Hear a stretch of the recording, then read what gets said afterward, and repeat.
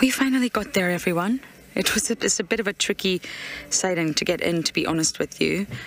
But it is indeed a leopardess I have not seen in an extremely long time. And it is, in fact, Miss Langa. Shasha's sister, litter mate, Sibui's daughter. And I have honestly not seen her since. Oh, I think a random brief, brief sighting at Baboon Pan.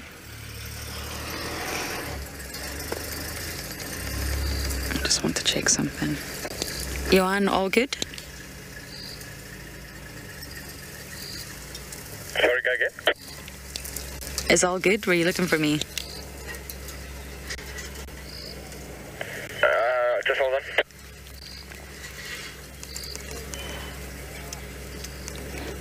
She's in a really tricky spot, to be honest with you. It's not ideal. But luckily, we've got the infrared tool and it's working tonight. Yay! But there she is. I think she's got a bamba, which means she's got a kill. I don't know what it is or where it is just yet, but it means good news that she could possibly. Oh, she looks like a mama. Oh my goodness, looks like mama.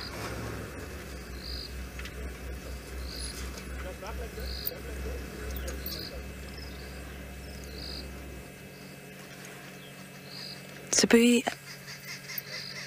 Shasha and Langa really look like Sabui, I think. I think Shasha more so.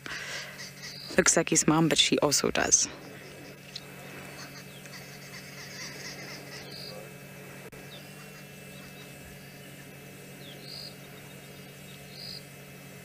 She's in that drainage. So on Chitwa, we're back on Chitwa. Charles' house sits above a drainage and it's extending west from Chitwa Dam. That gorgeous drainage, she's in there. It's not the easiest of viewing, but like, we can work with it. Hello, girl.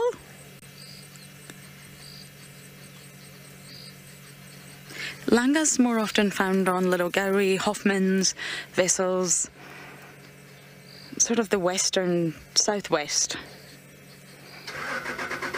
I think she's dipped her paws occasionally into Djuma, but I've never seen her in Djuma.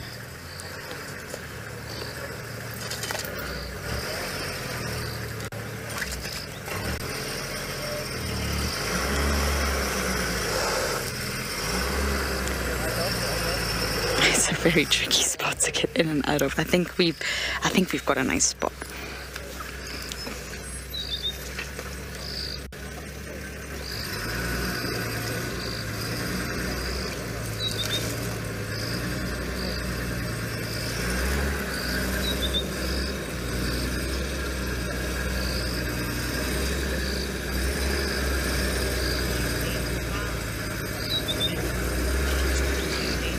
Judy, you're saying, wow, Langa. Been too long. Yes, yes, and yes. Far too long. Far too long for me.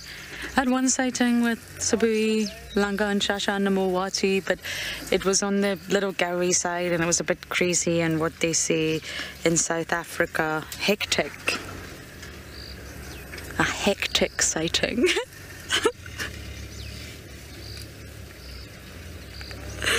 They love to describe things as hectic. Even jam.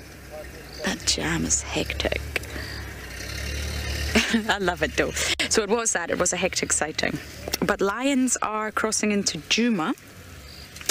I believe it's in Nkuhumas. I don't know if you want to pass on the message to Eric for me, Gwen.